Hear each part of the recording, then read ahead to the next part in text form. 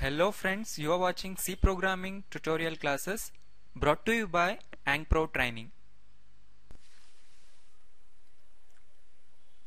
And the topics for this class are user defined functions and some example programs. Friends, in the last class we have discussed the library functions as well as the user defined functions. Let us recall uh, the user defined functions. So they are not available in C library but we are going to define the functions as and when we need them right? So here is an example of a function uh, where we have declared the welcome function at the top and we have defined that function at the bottom below the main of. So here I want to clear something for you. So the function definition is here right? This is called the function definition. This is called the function declaration. This is definition and this is declaration. Function declaration is telling the compiler that you are going to expect the the definition of the function later in this program. Right? So the function declaration ends with the semicolon whereas the function definition is going to contain the entire code that the function is going to perform. So the actual code resides in the function definition. But in the declaration section we have just uh, give the function return type void is the function return type and the function name and uh, the function parameter inside the inside the pair of brackets and the semicolon. So this is the function declaration we can also call this as function prototype right? And this is the main function where the function call to this function lies. So whenever the compiler or the control comes to this place it will jump to this statement where the definition is uh, there and execute the entire code right? So this is the function call or you can call it as calling function this is called function. So today we are going to perform this practically and you will understand how the function works exactly, right? So friends in this program I'm going to uh, show you how how we can define our own function and how how the function execution happens. Right? So before going to before going to define the function first I have to declare the function above I mean above the void main statement right? So my function name would be void welcome like this uh, with the semicolon at the end right? So after this void main function I mean uh, the exactly below the function we are going to define the void welcome function here so remember here we should not put the semicolon because we are going to define the function. This is not the end of the statement, right? So here I can put whatever I want. So this is entirely like a void main function. I mean only the name is different and the return type is different. You can do whatever you want to do or what all we can do inside the void main we can do here as well. Printf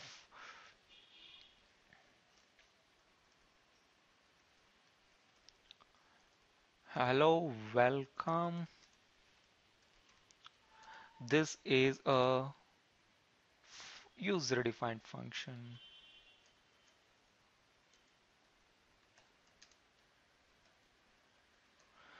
Right? So here uh, I'll get inside the void main. So this is the void main function. So what I must have here is uh, first let me add the basic function call clear screen. This is also a function call which clears the screen. And here uh, first I'll print the statement. So whatever I want to print here I can have. And here I'll place the function call to that function. So remember uh, while having the function call while writing the function call uh, we just have to write the function name and the pair of brackets and a semicolon at the end. If you are passing anything to the function, uh, I mean any parameter to the function, we'll place those parameter inside here.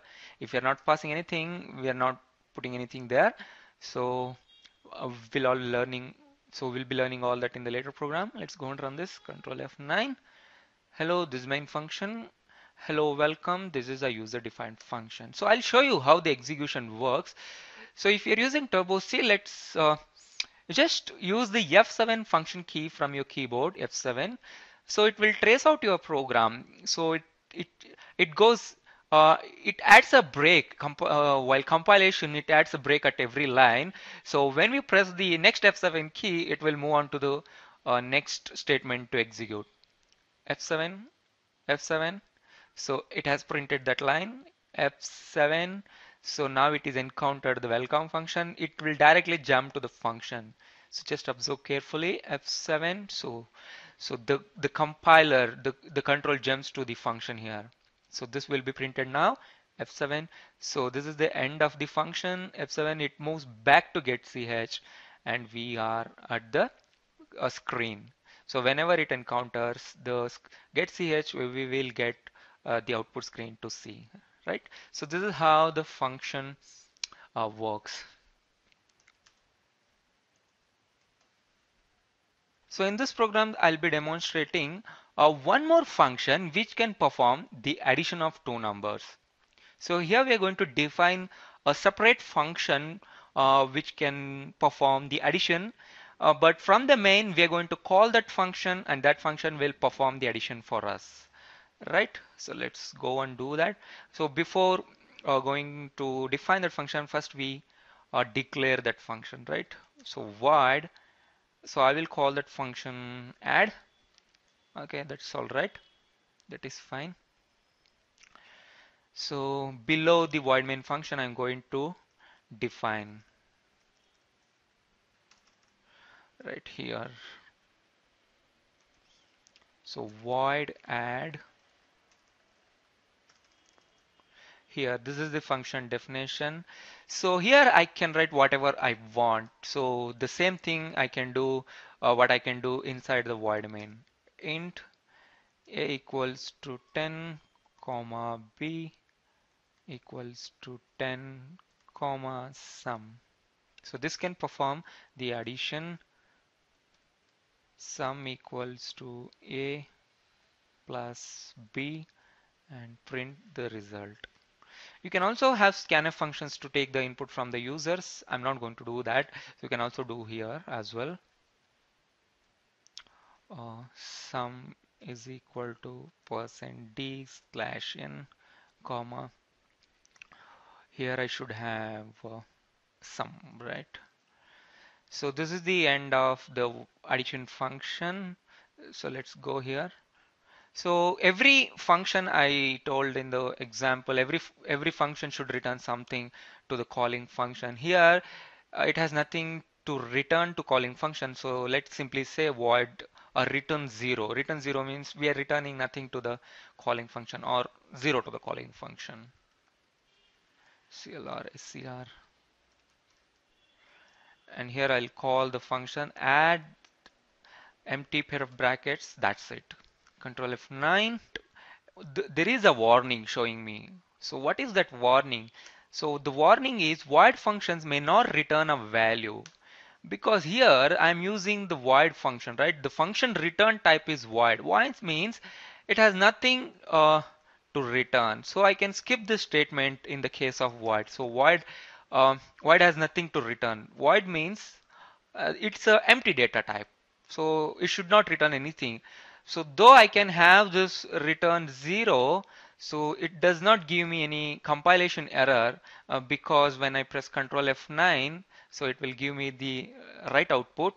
So I should skip uh, uh, syntactically skipping the statement in case of void is correct. So we should not use return zero in the case of void. Now I shouldn't get any warnings, right? So now, so there is no uh, I mean there is no warnings now right so uh, now I'm now it is perfectly all right so this is how we can achieve the user defined functions right Well friends, that's it for the class. Subscribe to our channel on YouTube, like our page on Facebook, follow us on Twitter and join our group on LinkedIn. Thank you.